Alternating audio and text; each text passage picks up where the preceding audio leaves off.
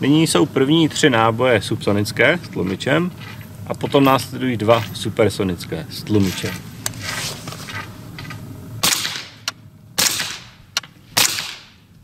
Teď supersonické.